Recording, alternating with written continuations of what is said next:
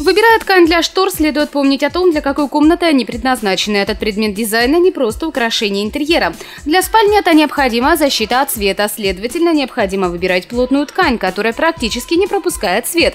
Отличный вариант – ткань Blackout. Шторы из этого материала точно станут надежной защитой вашего крепкого сна. Для комнаты с недостатком света лучше выбрать ткань неплотной фактуры, которая будет легко драпироваться и фиксироваться в раскрытом состоянии. Не следует подбирать шторы в тон к обоям, иначе они будут сливаться с общим фоном комнаты.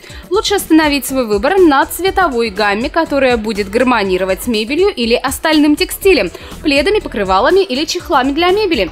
Но если все же очень хочется обустроить комнату в одном цвете, необходимо подбирать шторы на несколько тонов светлее или наоборот.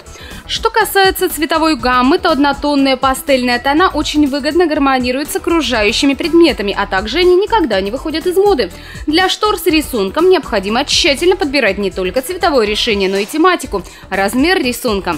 Огромный выбор готовых комплектов штор для вашего дома вы всегда можете найти в салоне «Штор Гармония». Все они сшиты по эксклюзивным эскизам дизайнера салона и уже готовы украсить ваш дом.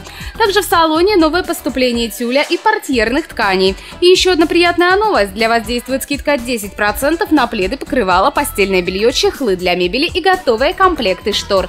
Салон «Штор Гармония», торговый центр Прага, второй этаж.